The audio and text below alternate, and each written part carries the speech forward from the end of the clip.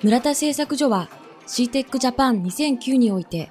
昨年デビューした一輪車型ロボット村田聖子ちゃんの最新技術の実演を行いました。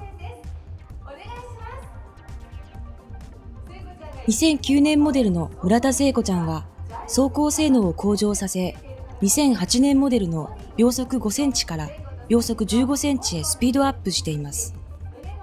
さらに、カーブ走行や平均台の上を走ったりすることもできるようになりました。傾き検出用のジャイロセンサの他に、新たに方向検出用のジャイロセンサを搭載し、カーブ走行の際、ジャイロセンサからの信号を用いて進行方向を検出しています。去年はですね、まあ、ちょうど聖子ちゃんが誕生した年だったんですけれどもその一輪車で倒れずに立つ前に進む後ろに進むっていう機能とあと超音波であの前の、え手とか障害物を検知してそれについていくっていう機能しかなかったんですけども、え今年から新たにその曲がる機能を追加しましたので例えば前進しながら右に舵を切ったりしてこうカーブをして回ることができるようになりました。また足元を捉えるカメラを本体の下部に設置することで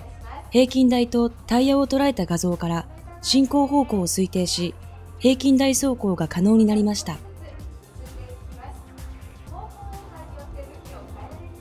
そのカメラでその平均台を捉えてまあ、平均台が左の方にあったら左に舵を切って平均台が右の方にあったら右をかに舵を切ることであの幅2センチの平均台を渡ることができました。